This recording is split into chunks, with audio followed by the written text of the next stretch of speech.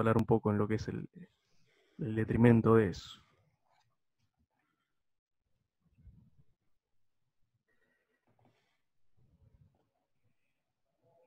Bienvenido Luciano, bienvenido Alberto, Ceci, señor Venegas. Muchísimas gracias por estar presente, Santiago, Marcelo y otros que están tratando de ingresar todavía. Damos unos minutos e iniciamos. Bien.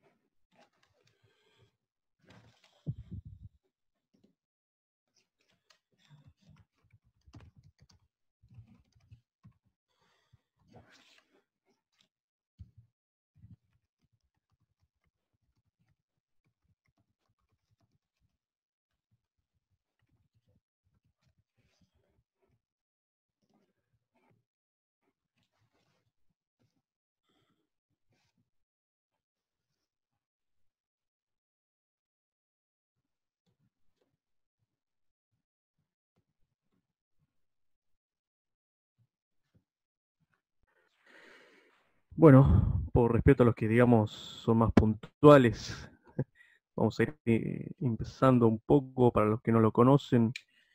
El señor Fernando Solanet es licenciado en física, dedicado a la industria del petróleo y del gas, exalumno de SEADE por parte del- de la eminencia, con el debido respeto del señor Venegas Lynch.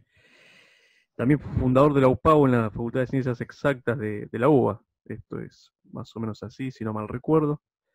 Nuevamente, de ya muchísimas gracias a todos por estar presentes. De nuevo, el señor Fernando Solanet, muchas gracias, es todo suyo. Bueno, gracias Julián por tu introducción. Eh, primero que todo quería decir que no pienso hacer una clase magistral de estas que, a veces se ven, se graban y luego...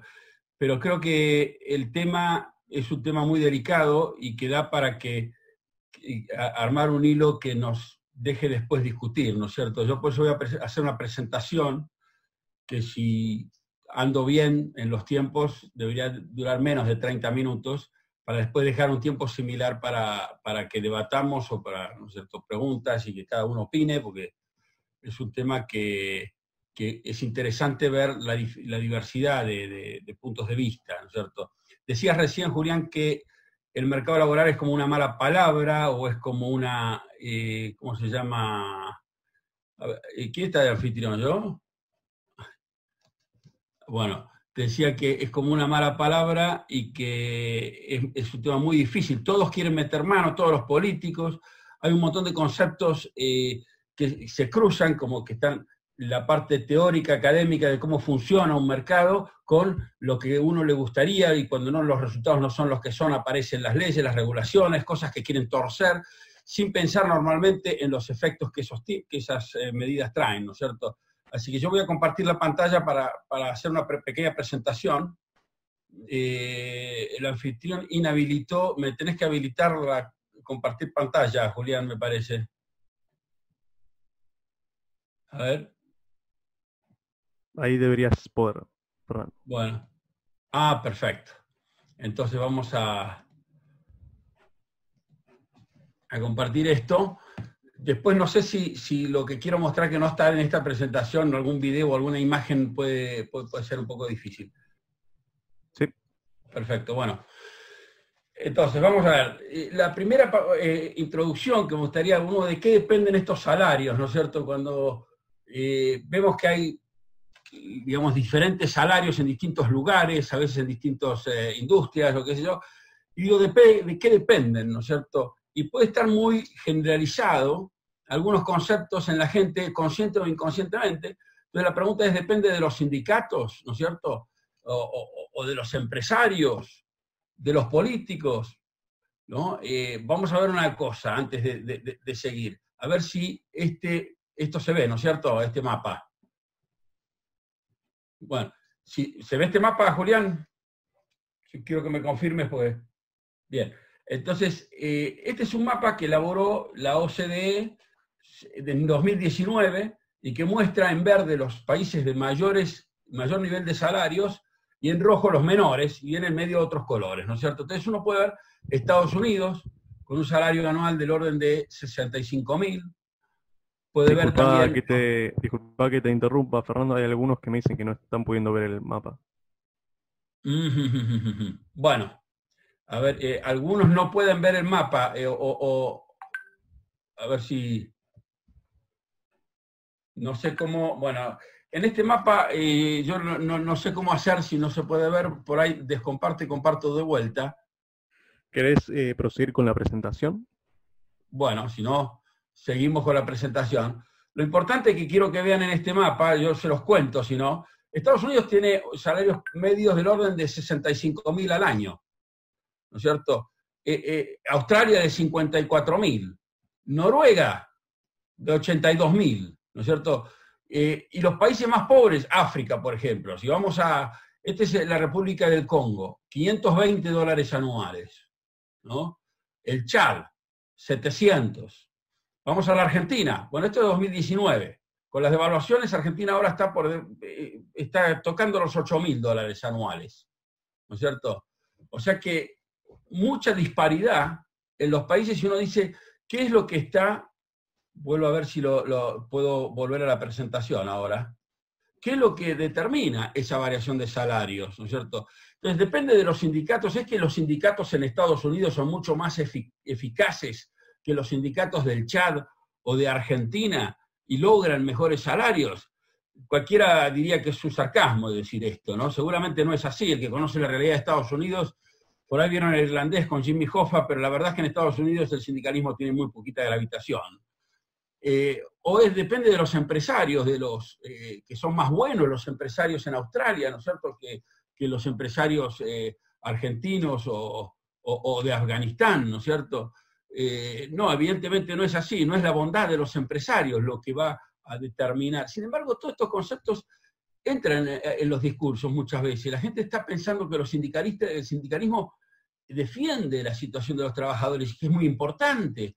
O, muchas veces criticamos o pensamos que el Estado se tiene que meter para controlar a los empresarios que, que, son por naturaleza mezquinos y que no quieren pagar buenos salarios, ¿no es cierto?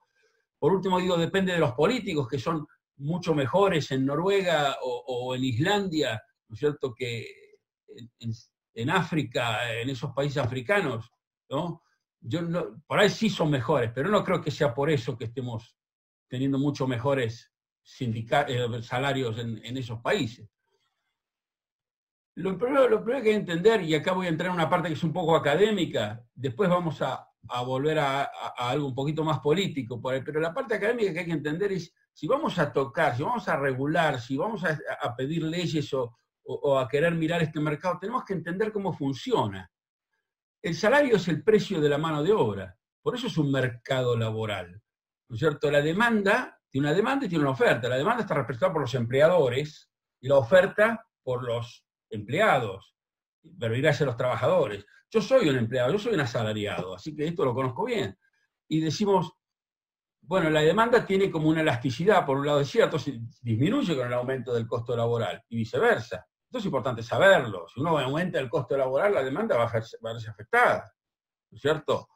Eh, y la oferta, la oferta es un poquito particular, porque normalmente la oferta es un poquito rígida de, mano de obra laboral, porque todos los que estamos en, edad activa queremos trabajar. La, verdad es que si el salario, tenemos acceso a un salario más alto, mucho mejor, pero si no, vamos a ir a trabajar igual y nos conformaremos con el salario que podamos llegar a conseguir.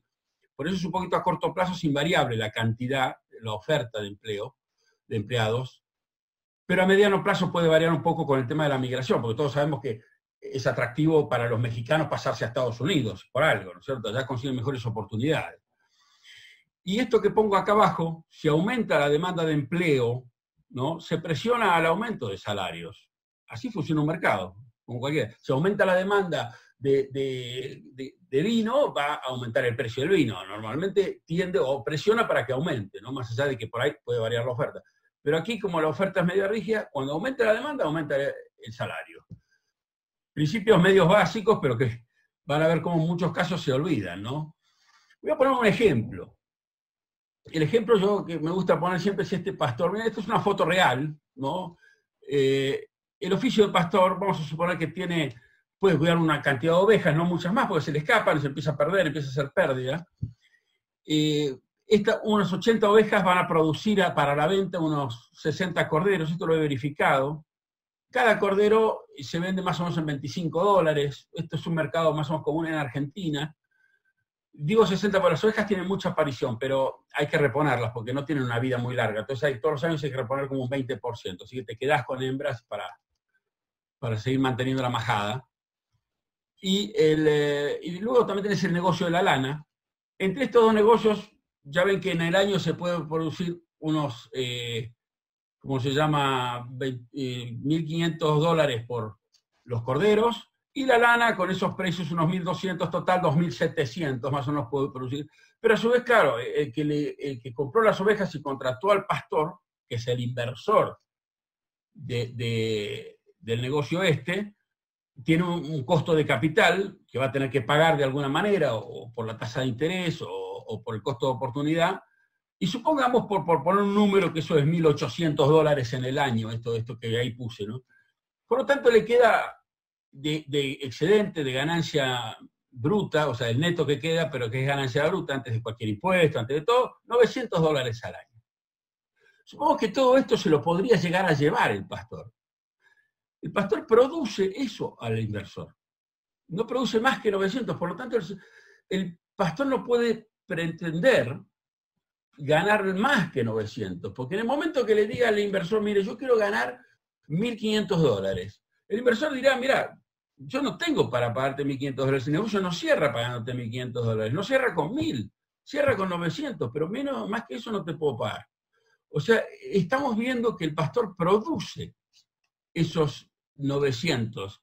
Y si la productividad del pastor es 900, no puede pretender más, porque si le produce al inversor menos que lo que pretende, simplemente el inversor no se lo va a pagar, lo que pretende. Entonces el salario del pastor tiene un techo, esto es muy importante. Más que lo que produce, no se le puede pagar porque no existe negocio. ¿no? Pero también, aquí hay otro punto de vista, que es el inversor, no, también tiene una limitación él no puede pretender pagar a un asalariado menos de lo que paga el mercado. ¿No? Él está metido en un mercado. Y el pastor dice, bueno, usted me quiere pagar 900, pero yo en el mercado consigo trabajar por 2.000. Así que métase, bueno, llévese su negocio y yo conmigo no cuente. Entonces, el inversor siempre va a tener un piso, menos del cual no puede pagar.